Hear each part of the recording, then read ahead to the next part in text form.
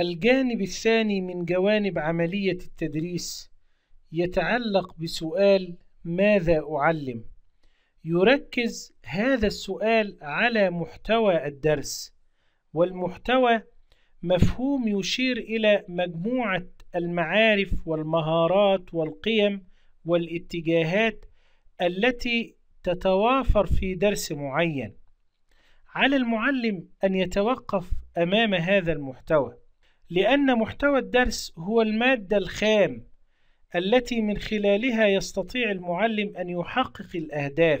لذلك فالمحتوى له أثر كبير على تحقيق الأهداف. لا بد أن يكون هذا المحتوى شاملا وكافيا. أيضا المحتوى يؤثر بشكل مباشر على طريقة التدريس التي يستخدمها المعلم.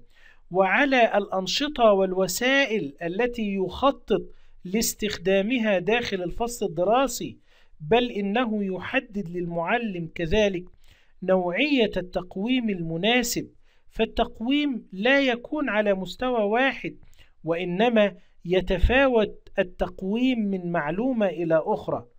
معنى ذلك أنك كمعلم لابد أن تبدأ بالنظر إلى المحتوى. وأن تقوم بعملية تحليل لهذا المحتوى ماذا نقصد بتحليل محتوى الدرس؟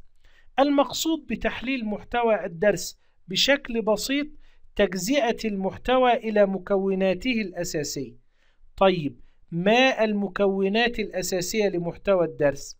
تشمل أولا المعارف والمفاهيم والحقائق والمبادئ والمعلومات هذا هو الجانب المعرفي في محتوى الدرس.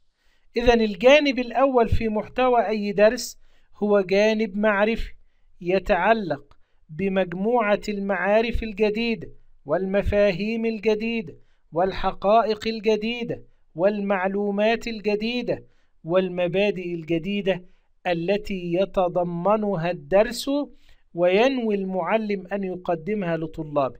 لا بد أن تعزل كل هذه الجوانب المعرفية وأن تكون على دراية كافية بكل منها وعلى وعي كاف بمعناها ومدلولها وما إذا كان لدى الطالب معارف سابقة عنها أم لا.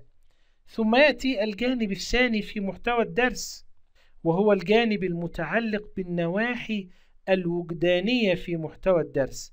هذا الجانب يغطي الاهتمامات الإيجابية والميول والاتجاهات والقيم.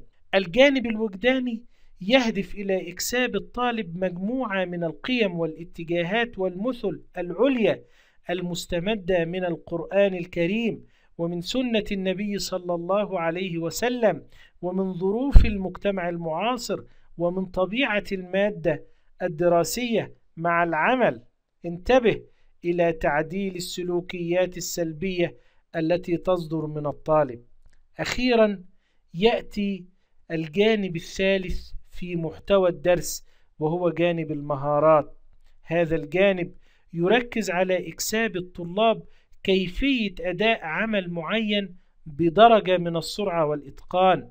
لا بد أن نشير إلى أن تحليل محتوى الدرس أمر مهم ولازم لكل معلم فالمعلم الذي ينوي والذي يرغب في أن يقدم تدريسا جيدا لا بد أن يقوم بعملية تحليل محتوى جيدة جدا قبل أن يدخل إلى فصله الدراسي لأنه في ضوء هذا التحليل سوف يحدد أهداف الدرس سوف يختار طرق التدريس سوف يختار الأنشطة والوسائل المناسبة سوف يضع التقويم المناسب لدرسه.